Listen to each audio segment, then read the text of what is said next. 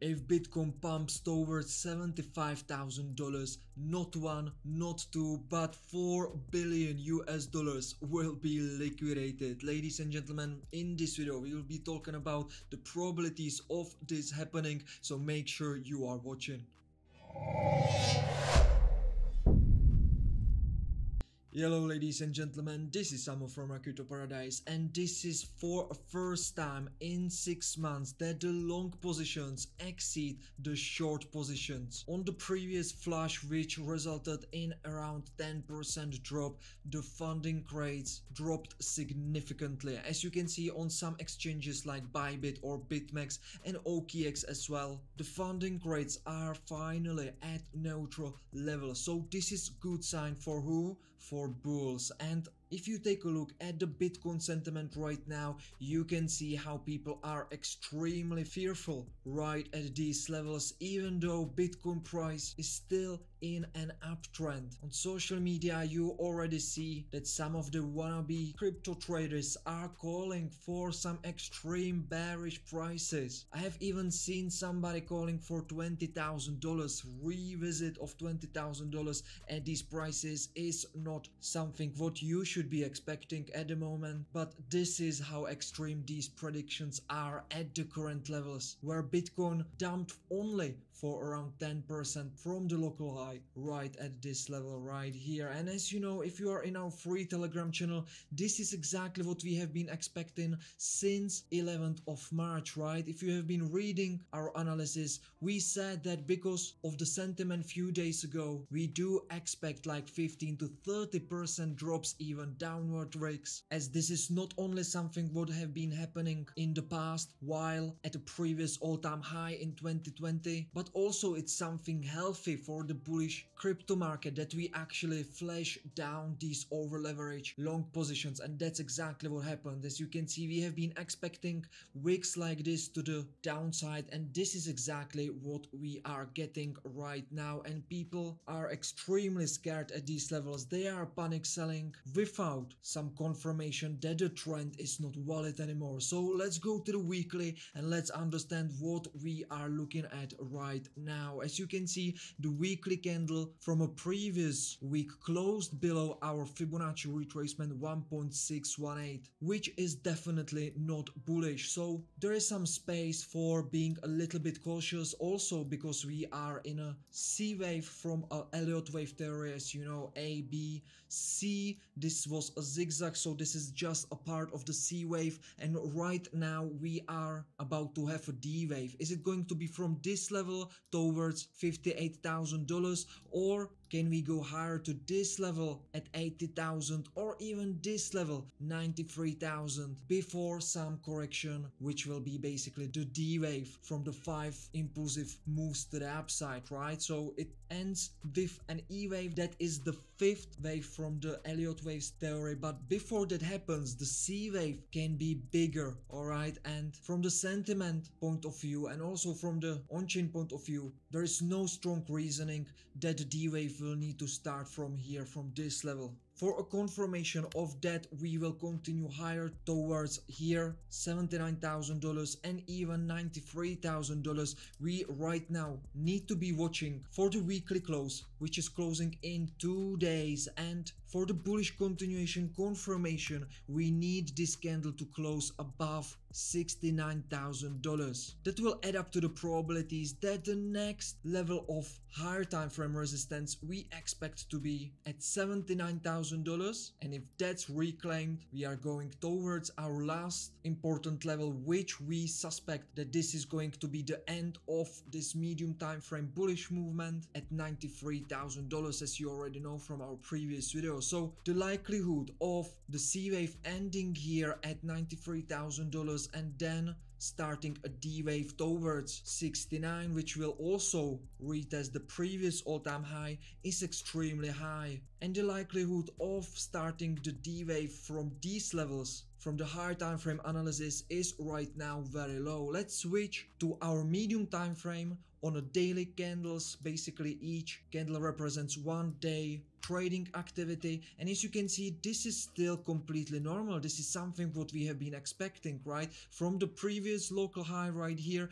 we have dropped for around 11% which is absolutely normal. However right now in around 9 hours we want to see this candle closing above our 1.618 Fibonacci retracement zone right here above this red line and once that happens we will successfully reclaim this resistance and flip it into a support. The likelihood of this happening that the daily candle right now will close above this level is very high just because we understand that we are on a right side which is the side that the minority of people right now is and most of the whales are on this side so the whales what they are looking at right now is this juicy liquidity. And the whales are part of exchanges. And you know that once we start to liquidate these short positions the exchanges from the liquidations will make loads of money. So why not to push the price just a little bit? And then these levels will take care of the price going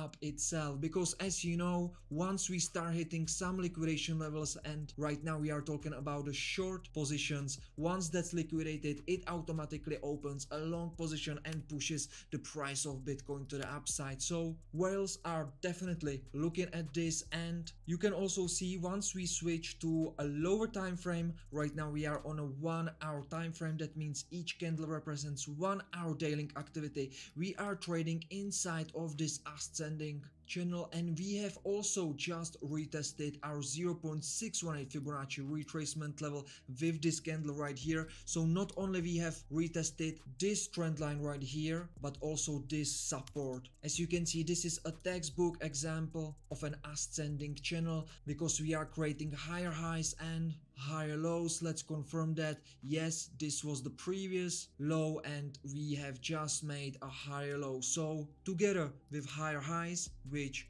again we can confirm we are creating higher highs. This is a clear bullish ascending channel and we have just retested the bottom of it. So the probabilities of pushing the price to the upside right now is very very high. Let's add up to the probabilities right? Let's take a look at MACD indicator and what can we see right here? What can we see right here? We can see not only the MACD indicator crossing, having a bullish cross at the bottom right here, but we can also see an exaggerated bullish divergence. Why? Let me explain why. Because the MACD is basically having equal lows, however the price made a lower low. This is a textbook exaggerated divergence. Let me share it with you. It is very very bullish if the indicator is making equal low but the price have made a lower low. There is something very fishy going on. This is not a real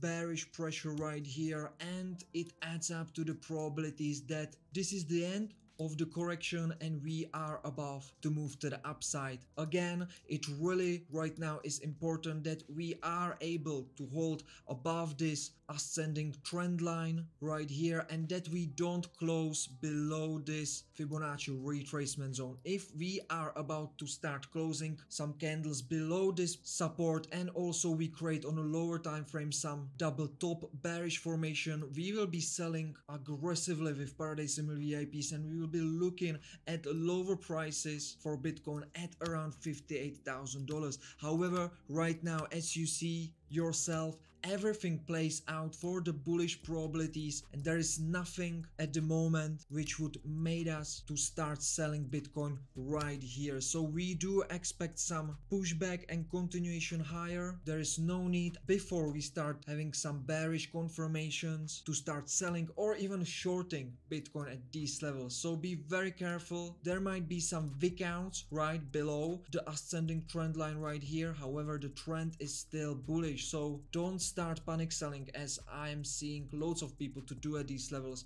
Also at the same time the dollar index is at resistance not only on a weekly resistance as you know it's been creating this head and shoulders pattern for some time right now which is a bearish pattern right? And we are expecting lower targets from the dollar index. And you know already if you are watching our videos that when the dollar index is bearish loads of other currencies are bullish and this is playing out extremely well for bitcoin. When the dollar index is dumping the bitcoin price is pumping. Let me zoom into a lower time frame and you can see that the dollar index is right now at the lower time frame resistance as well right here. It is not only a fibonacci retracement resistance but also past price action resistance as you can see this level is very important and it seems like this is just a bearish retest and we are continue lower. So the dollar index is at resistance bitcoin is at support. We have some other confirmations right now as well which tells us the probabilities are on a bull side right now. So until we get some bearish confirmations